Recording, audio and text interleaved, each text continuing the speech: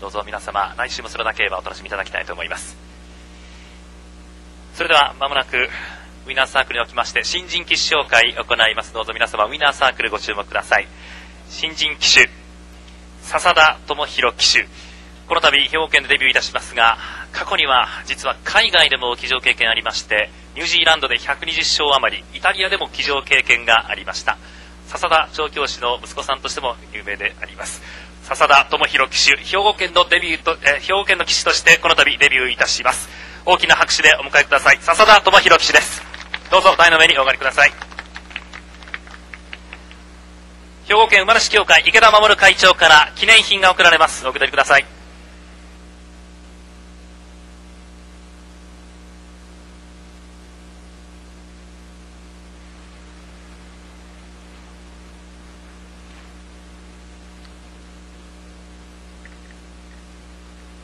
非常に厳しい競馬学校卒業されて旅に出られて苦しい思いをされたことと思います、えー、あなたはおじいちゃんといいお父ちゃんといい競馬のいわゆるサラブレッドと申しますか。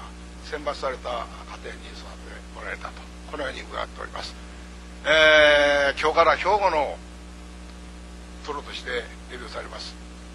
魔法の鞭を差し上げますんで一つ兵庫の競馬を大いに盛り上げていただきたい。よろしく。怪我せんように。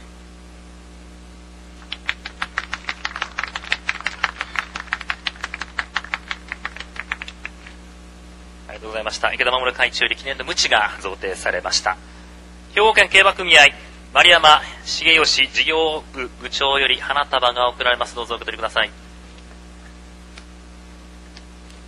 えー、たくさんの優秀な先輩騎手いますけど負けないように頑張ってください。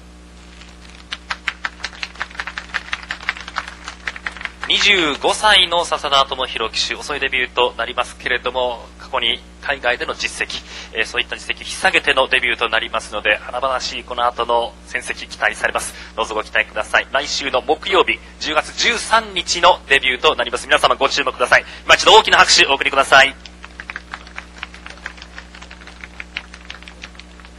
えー、記念撮影、ちょっとね、あの、笹田騎手に意気込みを伺います。あ、どうぞ写真撮ってください。よろしいですか？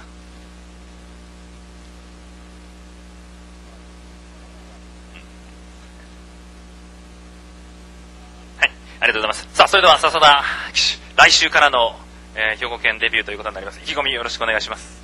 そうですね、あの、海外での経験を生かしてね、これからの兵庫県競馬、地方競馬を盛り上げていけたらなと思います。今後自身の目標としてどういうものがありますか？やっぱりリーディング取りたいですよね。そうですね。全国リーディング狙いたいと思います。頑張っていただきましょう。紫の勝負笹田智弘騎手のこれからの活躍大いに期待いたしましょう。おめでとうございました。これから兵庫県の騎手として頑張ってください。皆さん応援よろしくお願いします。それではそのわけでは今日の後半戦もどうぞお楽しみください。